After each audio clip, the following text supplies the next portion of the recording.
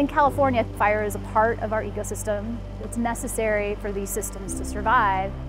Before we were doing active fire suppression, fires would burn through this landscape up here about every 10 to 12 years.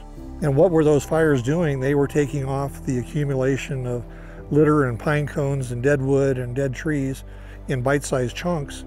And they were doing it with fairly low intensity, mostly ground fire, that would allow the bigger trees to survive. Across the entire Sierra Nevada, in fact, most of western U.S. has been a traditional regime of suppressing fire for good reason. We don't want to hurt people, including the firefighters who have to manage blazes when they get close to people. But one of the unintended consequences was that that created a problem that gets worse and worse every year because more fuel builds up. Now we're dealing with king fires that are 79,000 acres or a rim fire that's 300,000 acres. Those megafires that burn under large percentages of high intensity are not what had been experienced up here in the past. Our partners from the Forest Service are going to turn fire to the landscape in a more controlled way. The Pacific Southwest Research Station and the California Academy of Sciences, we've come together to understand what resilience in these ecosystems looks like we want forests to be resilient so that when they have changes like fire, it doesn't turn them into grasslands or turn them into something else besides forest.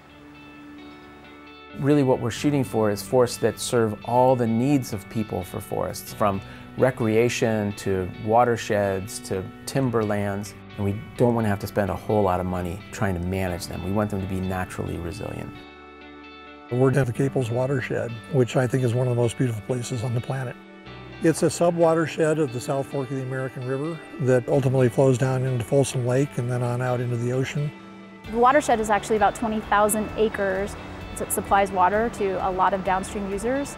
This watershed is one that has not experienced some of the other disturbances such as intensive grazing or management of forests to remove timber, but it has experienced a lack of fire and it's also experiencing, as all of our ecosystems are, climate change, so increasing drought and changes in precipitation and temperature over time. Since it hasn't had fire for over 100 years, there's a lot of fuel on the ground and a lot of downed trees and dry trees. And so the real question would be, if that system got burnt, would it remain a forest? Would it be resilient to that? The Caples Creek watershed is scheduled for some controlled fuel reduction over the next 5 to 15 years.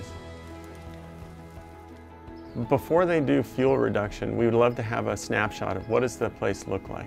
This actually is an important moment because we often don't get a chance to see the condition prior to an action or to an accidental fire, for instance.